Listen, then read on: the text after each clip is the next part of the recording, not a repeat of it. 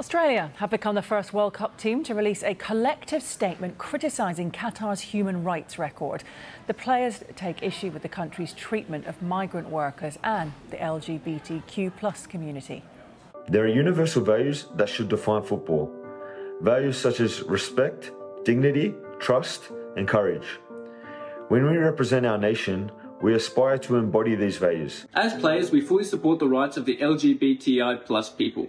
But in Qatar, people are not free to love the person that they choose. Addressing these issues is not easy, and we do not have all the answers. We stand with FIFPro, the Building and Woodworkers International, and the International Trade Union Confederation, seeking to embed reforms and establish a lasting legacy in Qatar the most significant intervention, really, by one of the teams heading to Qatar in just a few weeks for these finals. And the Australians do recognise there has been some progress in Qatar in the 12 years since they won the FIFA vote, the fact that they have changed some of the laws to improve working conditions. But of course, that only came under a huge weight of pressure, particularly from rights groups, pointing out the suffering experienced by a lot of the low paid migrant workers to build up a country so small that it couldn't stage a World Cup until it actually managed to sort of build eight new stadiums and vast new infrastructure.